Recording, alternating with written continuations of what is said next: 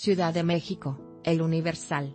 Guión La Universidad Nacional Autónoma de México, UNAM, reprobó enérgicamente la violencia en contra de los alumnos que se manifestaban en forma pacífica en rectoría. Agresiones como la sucedida esta tarde son inadmisibles, pues solo buscan enturbiar el ambiente y desestabilizar la vida académica de esta casa de estudios, dijo la máxima casa de estudios en boletín. La riña comenzó cerca de las 15.30 horas, luego de que cientos de jóvenes del Colegio de Ciencias y Humanidades Azcapotzalco llegaron a la torre de rectoría para exigir la expulsión de grupos porriles del plantel. Los alumnos también protestaban en solidaridad con los familiares de Miranda Mendoza Flores, estudiante del CCH Oriente de 18 años de edad que fue secuestrada y asesinada en días pasados.